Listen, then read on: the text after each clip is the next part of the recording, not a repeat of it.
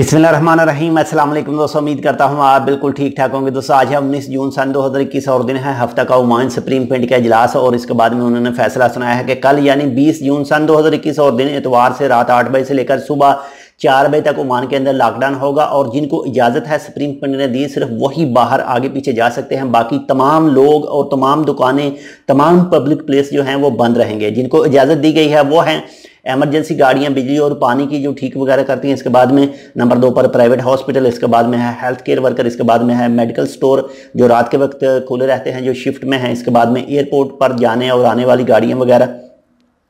Port पर जाने वाली गाड़ियाँ, इसके बाद में तीन टन के ट्रक और ट्रक से, तीन टन से जो अबोव हैं उनको भी इजाज़त होगी चलने की। इसके बाद में फैक्ट्री में काम की इजाज़त है, लेकिन आदमी बाहर नहीं जानी चाहिए। इसके बाद में लोडिंग और अनलोडिंग वेयर हाउस में फैक्ट्री में वो भी इजाज़त है। इसके बाद में है जी, जो रात के वक्त नाइट शिफ्ट में पेट्रोल पम्प चलते हैं, उनको भी इजाज़त होगी, वो भी खुले रहेंगे। इसके बाद में मीडिया वाले भी आगे पीछे जा सकते हैं। तो ये कुछ फैसले हैं और इसके साथ में आया है जी, जो होम डिलीवरी है, वो भी ओपन रहेगी।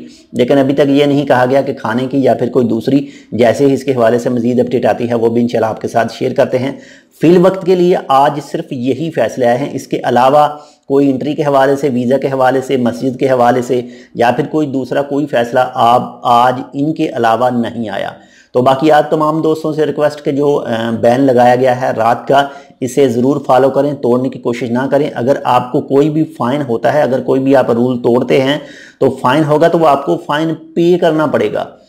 उस फाइन को छोड़ा नहीं जाएगा, आपको लाजम उसे पे करना है।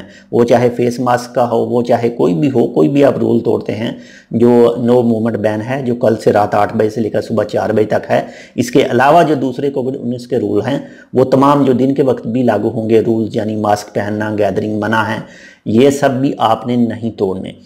तो बाकी अभी तक कोई मज़ीद कुछ दूसरे फैसले नहीं सामने आए, जैसे ही कुछ मज़ीद अगर आते हैं तो वो भी आपके साथ शेयर करेंगे। तो मिलते हैं आपसे दूसरी अपडेट के साथ। अगर आपने अभी तक हमारे ये channel tech with Urdu blog subscribe नहीं किया तो आप इसको सब्सक्राइब कर सकते हैं। मज़ीद ऐसी ही अच्छी और मालूमती वीडियोज़ के लिए। अल्लाह हाफिज़।